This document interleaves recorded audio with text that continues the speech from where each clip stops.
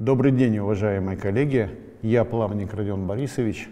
Расскажу вам о том, как применять новый стандарт бюджетной информации в бухгалтерской отчетности. И, наконец-то, мы с вами поймем, для чего же нам нужен учет санкционирования расходов.